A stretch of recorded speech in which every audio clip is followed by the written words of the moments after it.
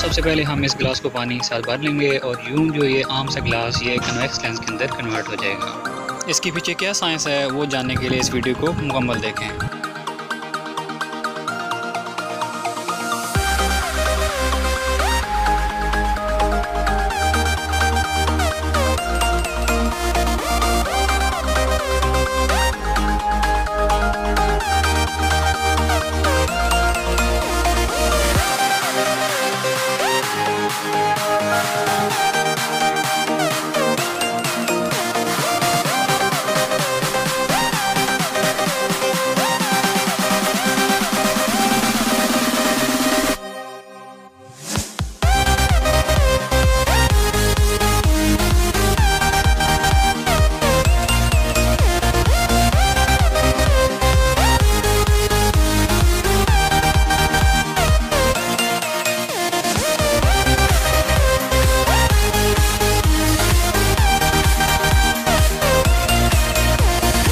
दोस्तों, इस एक्सपेरिमेंट के पीछे जो फिज़िक्स है, वो है रिफ्रेक्शन ऑफ़ लाइट यानी लाइट का अपनी डायरेक्शन को चेंज कर लेना।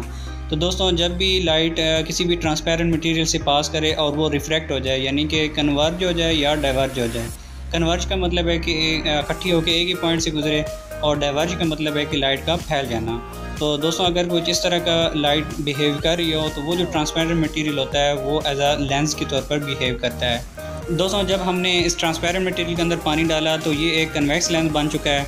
और कन्वेक्स लेंस की दोस्तों प्रॉपर्टी होती है कि जब भी ऑब्जेक्ट को एक ख़ास डिस्टेंस के ऊपर रखा जाए तो उसका जो इमेज होता है, वो उल्टा होता है। ठीक है? तो इस केस में आप देखते हैं कि राइट से लेफ़्ट की तरफ़ एरो की डायरेक्शन है, लेकिन जो ही हमने इस ट्रांसपेरेंट मटेरियल से इस एरो को देखते हैं तो उसकी डायरेक्शन जो है वो लेफ़्ट से राइट हो चुकी होती है। दोस्तों, आप भी इस एक्सपेरिमेंट को घर पर ट्राई करें। आई होप कि आपको आज की वीडियो अच्छी लगी होगी और अगर आपको ये वीडियो अच्छी लगी तो प्लीज़ इस चैनल को सब्सक्राइब करें ताकि मज़ीद इस तरह की वीडियो आपको बर वक्त मिल सकें। मिलते हैं नेक्स्ट वीडियो के साथ। टिल दैन अल्लाह हाफिज़।